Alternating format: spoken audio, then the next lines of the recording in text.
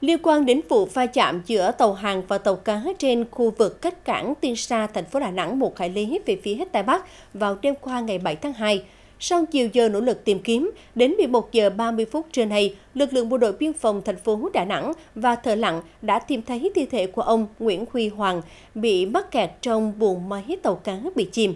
Hiện nay thì thi thể ngư dân đã được bộ đội biên phòng đưa vào trạm kiểm soát biên phòng sông Hằng, đồn biên phòng Sơn Trà để tiến hành các thủ tục pháp lý theo quy định. Như tin đã đưa, lúc 22 giờ 40 phút ngày 7 tháng 2, trạm kiểm soát biên phòng Măng Quang, đồn biên phòng Sơn Trà, Bộ Chỉ huy Bộ đội biên phòng thành phố Đà Nẵng nhận tin báo từ ông Lê Văn Hên, 42 tuổi, là chủ tàu kiêm thuyền trưởng tàu cá QNG 41464 về việc tàu của ông va chạm với tàu hàng. Trên tàu có hai ngư dân là ông Hên và ông Nguyễn Huy Hoàng, 39 tuổi, cụ tại xã Tuy Hải, huyện Ninh Hải, Ninh Thuận. Hậu quả tàu cá bị phá nước. Sau 10 phút thì chìm hẳn. Thuyền trưởng Lê Văn Hên được tàu cá BD 40455 huy động gần đó cứu nạn đưa vào bờ, đồng thời tổ chức tìm kiếm ngư dân còn lại là Nguyễn Huy Hoàng nhưng chưa có kết quả. Bộ Chỉ huy Bộ đội Biên phòng điều động xuồng cao tốc PP 081502 với 10 cán bộ chiến sĩ tìm kiếm.